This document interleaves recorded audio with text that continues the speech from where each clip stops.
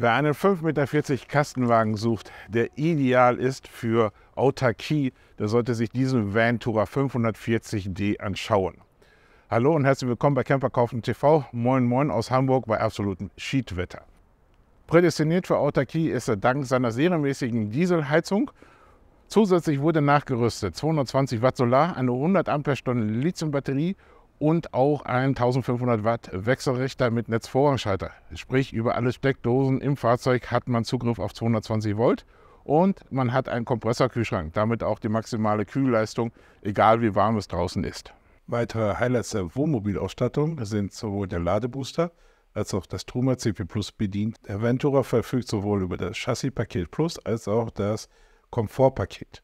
Dieses beinhaltet unter anderem eine Klimaautomatik, Remis-Fahrerhausverdunklung, Vorverkabelung für SAT-TV, 16 Zoll Räder, Nebelscheinwerfer, zusätzliche Lautsprecher im Heck, Lederlenkrad und Lederschaltknauf und Lenkradfernbedienung. Basis ist Fiat Ducato mit 140 PS, Schaltgetriebe Euro 6. Doch kurz zur Historie. Erstzulassung war 11 2020. Der aktuelle Kilometerstand ist 22.743 Kilometer. Erster Besitzer war eine Privatperson, die das Fahrzeug ca. 5000 Kilometer fuhr. Die aktuelle Verkäuferin erwarb das Fahrzeug im Februar 22 und rüstete Markise, Solar, Lithium und Wechselrichter bei dem Händler nach, wo sie das Fahrzeug gekauft hat. Zum Verkauf wird die Inspektion und der TÜV neu gemacht. Der Ventura steht ab sofort zur Verfügung und kann kurzfristig abgegeben werden. Wie immer ist das Video in Kapitel unterteilt. Wir starten innen bei dem Fahrzeug, danach machen wir einen Außenrundgang, schauen uns den gesamten Pflegezustand an, die Ausstattung des Fahrzeuges und äh, zum Abschluss gibt es noch ein Fazit. Den Preis und die Details ähm, zu den technischen Daten finden Sie in der Beschreibung bei YouTube und auf meiner Webseite. So, schauen wir uns das Fahrzeug einmal von innen an. Elektrische Schiebe, äh, Antrittsstufe hatte ich schon erwähnt selbstredend. Fliegengitter dabei. Auch in einem tadellosen Zustand. Werfen wir zunächst einen Blick in den Innenraum. Klassischer 5,40 Meter Grundriss. Sehr helle Polster, erweiterbarer Tisch. Oben ein großes Panoramafenster mit Kurbelfenster, davor ein Stauraum. Wir haben dann das Kompaktbad, hinten eine offene Lichtachse, dadurch, dass der Kühlschrank nicht im Raum steht. Und hinten das große Querbett mit 1,40 Meter Breite. Schränke haben wir sowohl rechts auf links als auch hinten über dem Bett und also über der Hecktür und oben drüber auch ein vernünftiges, richtig helles, komfortables Hebekippfenster. Ja, tut mir leid, wegen dem Wetter, da haben wir jetzt einige Wassertropfen hier drin, durchs Rein und Raus. Blieb leider nicht aus. Aber man sieht, der Pflegezustand des Bodens ist absolut in Ordnung. So, schauen wir mal im Fahrzeug. Wie gesagt, oben drüber eine große Ablage. Schauen wir uns den Beifahrersitz an. Sehr gepflegt, sehr angenehmer Stoff. Leder, Kunstleder dort in dem Bereich, wo man äh, mit der Kleidung schon mal über die Kanten rüber geht. Also sehr vernünftig, sehr hochwertig gemacht. Das gleiche gilt hier auch für die Sitzbank. Den Tisch kann man sehr gut herausschwenken, sodass man vorm Beifahrersitz, Fahrersitz den Tisch hat. Somit auch richtig Ablagefläche für so ein kompaktes Fahrzeug. Hier, da muss man, wir mal ganz leicht mal kurz nachkleben. Ansonsten die Oberfläche in Ordnung. Und hier ist noch ein kleiner Kratzer. Ich weiß gar nicht, sieht man das? Genau, da ist noch ein kleiner Kratzer drin. Aber wir gehen in die Totale. Hier sind die Kanten auch vollkommen in Ordnung. Und man klappt die ganz weit weg. Wichtig ist, es ist ein ganz klares Zwei-Personen-Fahrzeug. Man kann dort kein weiteres Bett bauen. Werfen wir oben drüber, haben wir Klappschränke, Schränke, sehr hochwertig verbaut.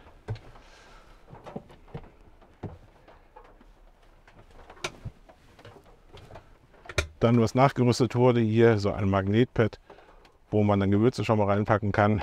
Und damit sind wir dann eigentlich thematisch auch schon in der Küche.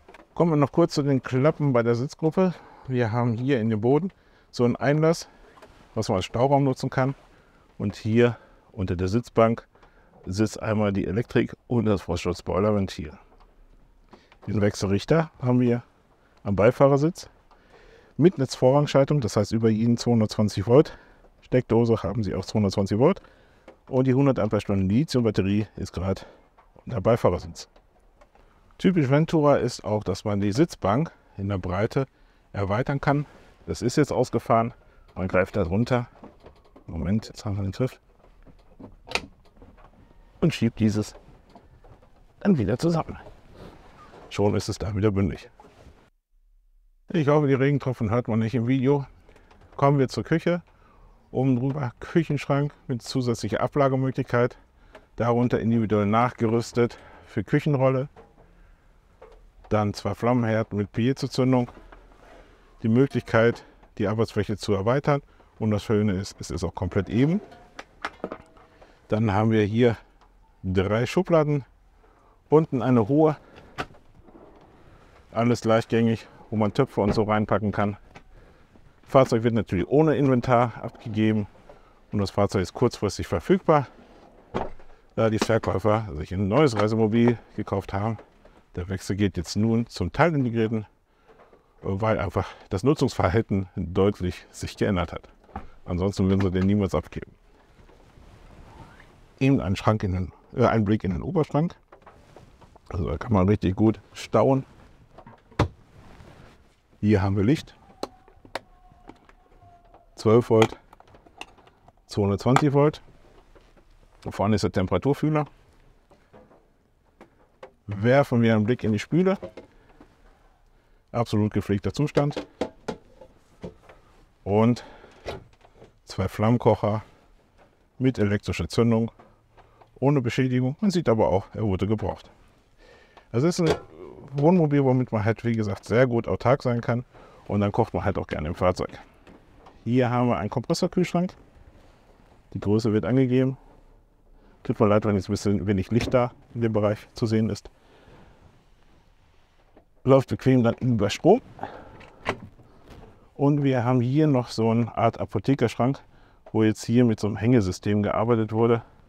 Man kann dort allerdings das auch als Kleiderschrank, so was ursprünglich vorgesehen, oben mit der Stange, dass man da eine längere Kleidung reinpacken kann. Ansonsten haben wir dann schon gleich den nächsten Bereich, nämlich den Schlafbereich. Wie eingangs erwähnt, hinten hinter eine Klappe, wo richtig gut was reinpasst. Was auch sehr schön ist, ist hier, dass dieses Fenster lässt sich in jeder Höhe positionieren, also aufstellen und ist dann auch sofort arretiert. Da kann nicht der Wind hintergehen. Und auch große Staufächer mit zwei Ebenen und Rüttelkante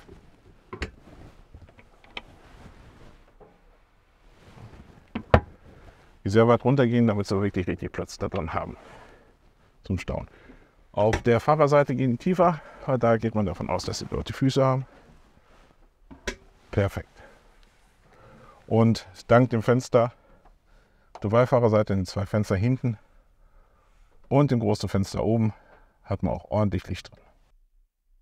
Zum Pflegezustand nochmal zusammengefasst. Ähm, ich habe hier drin keinerlei Beschädigung gefunden. Da haben wir übrigens noch den Solarregler. So, dann haben wir eine Heizung, Dieselheizung, die bequem hier einstellbar ist. Eine Ready gegen ca. 200, 250 Euro Aufpreis. Jetzt nageln Sie mich bitte nicht fest.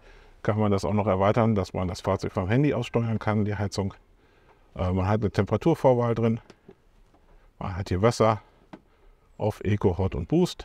Boost bedeutet, dass die Heizung dann die Heizleistung komplett aufs Wasser geht und nicht mehr auf den Innenraum. Sind 60 Grad, Eco ist ideal für Kinder, dass sie sich nicht verbrühen. Und hier hinten haben wir noch einen Ventilator in zwei Stufen. So, dann haben wir daneben das ganz normale Bedienpanel,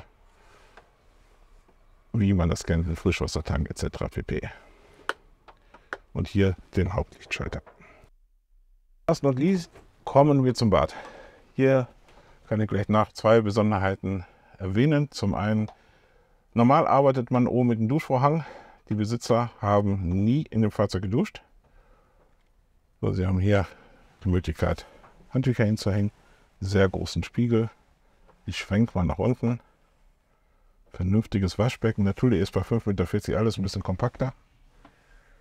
Toilette Und da unten die Duschwanne. Gehen wir näher ran. Auch die, das ist immer ganz wichtig, ohne irgendeine Beschädigung. Eine Sache, die jetzt gerade noch nachgerüstet wird, weil ähm, hier eine individuelle Lösung gab, vor dem Fenster. Das Fenster hätte ja leider keinen, ist nicht blickdicht. Ähm, es gibt dafür eine Jalousie, da sieht man auch die Vorbohrung, die wird wieder angebracht.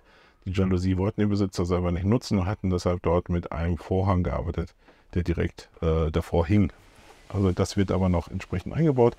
Ansonsten bezüglich Stauraum haben wir hier oben einmal nochmal die Möglichkeit, entsprechend das zu nutzen. Auch dort in dem Bereich ist ja einmal Licht. Dort ist äh, die Dauerbelüftung. Für die Toilettenrolle haben wir dort. Und dann haben wir hier noch ein weiteres Fach, was 100 Liter Wenn Sie übrigens für so ein Fahrzeug ein Sogsystem vermissen, sprich die Entlüftung der Toilette und dass man ohne Chemie arbeiten kann, sowas kann man für ca. 300 Euro nachrüsten. So, schauen wir uns den Ventura 540D jetzt nun einmal von außen an. Äh, Basis ist Fiat, ist nicht bei allen Modellen so. Es gab auch welche auf Peugeot und Citroën. Wir haben verbaut den 140 PS Motor und unten drunter 16 Zoll Stahlfelgen. So, schauen wir uns von der Frontstoßstange an. Nebelscheinwerfer hat der Serie. Keinerlei Beschädigung. Wir haben den Außenspiegel. So, wo wir Beschädigung haben, da müssen wir uns dann nochmal unterhalten, ist ähm, Steinschlagschaden. Wir haben hier, hier ist einer und hier vorne ist noch ein kleiner. Im Regen sieht man, es jetzt etwas schlecht. Ähm, da müssen wir dann nochmal drüber reden. Äh, das muss natürlich fertig sein. So, vorne kein Steinschlag auf der Motorhaube, ist ein bisschen dreckig. Es sieht heute bei dem Wetter, es wird leider keine trockene Lücke geben wo die Wolkendecke aufreißt. Deshalb jetzt ausnahmsweise mal im, im Regen. Ähm, oben drüber haben wir Markise. Gucken wir unten uns jetzt einmal den Schweller an. Wir haben auch elektrische Einstiegsstufe dabei. Keinerlei Beschädigung. Gucken uns vor oben die Fenster an. Die sind frei von irgendwelchen Kratzern. Auch hier bei der Fahrertür. Frischwassertank. Ganz wichtig bei diesem Fahrzeug hat man den Frischwassertank nicht im Fahrzeug, sondern unter dem Fahrzeug. Äh, ist isoliert und beheizt. Ähm, der Grauwassertank ist auch unter dem Fahrzeug. Es wurde allerdings nicht das Winterpaket bestellt. Der ist nicht isoliert und beheizt. Der ist ganz klassisch. Oben haben wir eine Rückfahrkamera, ein großes Fenster, Heo-Safe hinten an der Hecktür und unten Stoßfänger auch ohne Beschädigung. So, kommen wir jetzt zur Fahrerseite. Hier haben wir Ablassventil, dann Dieselheizung, ganz wichtig bei dem Fahrzeug. Das Fahrzeug hat auch schon Dieseltank mit AdBlue. Auch hier die Fenster einmal schauen, ohne Kratzer. Sehr großes Badfenster und die Folierung typisch Ventura. Obendrauf sehen wir noch die 220 Watt Solaranlage. So wollen wir eben beim Thema HeoSafe haben. Hier haben wir einmal HeoSafe auch an der Schiebetür und Fahrer, Beifahrertür, wo wir auch gleich an der Stelle sehen, zeigen wir auch gleich mal Verdunklungsgitter hier von der Seite und das gleiche vorne im Frontbereich auch von rechts nach links. Schauen wir uns einmal in den Heckbereich an. Dank des Wassertanks unter dem Fahrzeug hat man wirklich sehr großen Stauraum. Verzurösen sind auch dabei. Und wie man sieht, ähm, keinerlei Beschädigung jetzt unten am Boden. Ein sehr gepflegter Zustand. Oben die Matratze ist dreigeteilt. Hier mit so einem Mittelteil. Das kann man auch rausnehmen und das Ganze hier nochmal umklappen. Man hat dann so Zusatzholzer die man hier an der Seite runterklappen kann. Ich versuche das mal zu machen. Und die kommen dann dort hinter. Da muss ich nur das mittlere Element rausnehmen. Äh, das Brett, was hier fehlt, ähm, das haben wir natürlich auch vorhanden. Liegt gerade nur in der Garage. So, Fenster haben wir einmal auf der Beifahrerseite. Tüdel mit Verdunklungsrenault, dort zwei Lampen. Auf der anderen Seite haben wir noch eine Tasche und ansonsten sieht man einen sehr offenen, hellen Grundriss. Zwei Besonderheiten oder zwei. Eine Besonderheit ist halt nochmal, es wird auch mitgegeben ein Thermovorhang für die Hecktür. Der kann da oben eingeknöpft werden. Und hier haben wir die Kurbelstange für die Thule Markise. Schauen wir uns aber noch das Fahrerhaus an. Lederlenkrad, Fernbedienung, die Chrom-Applikation. Bei Ventura hat man eine recht hochwertige Ausstattung. Sieht man auch daran, dass man eine Klimaautomatik hat statt Klimaanlage. Ein sehr großes Navi-Typ wird angegeben. Dann haben wir äh, Bergabfahrassistent, Traktionskontrolle, USB-Device, 12 Volt Anschluss und auch daneben äh, der Schalter zum Umschalten, dass das Radio auch ohne Zündschlüssel zu verwenden ist. Hier oben schon bei diesem Modell, oh, Moment, auch die Möglichkeit hier schon das Handy einzuklemmen und wie bei Fiat üblich, das Handschuhfach da oben wird mit gekühlt oder erwärmt. Hier haben wir noch eine Handyhalterung drin und wir haben auch eine, Fernsteu ähm, eine Fernsprecheinrichtung.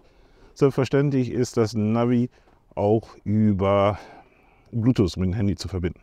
So, hier sehen wir nochmal die Klimaautomatik. Darüber das Navigationssystem. Sehr großes Display, super Kontrast. Hier also noch ein Blick in die Kamera. Man kann exakt rangieren, man hat eine sehr gute Übersicht.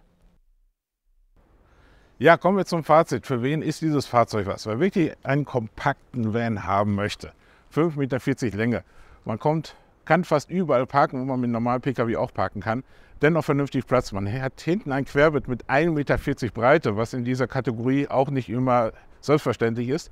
Wir haben die Dieselheizung, wir haben dadurch äh, wir haben einen Unfallflur, Wassertank, dadurch einen riesigen Kofferraum oder eine riesige Garage unter dem Doppelbett hinten. Solar, Lithium, Kompressorkühlschrank, Wechselrichter. Also wirklich ideal, auch als Büromobil zum Freistehen. Ein Top-Fahrzeug. Insgesamt dank dem Comfort Plus Paket auch eine hochwertige Ausstattung.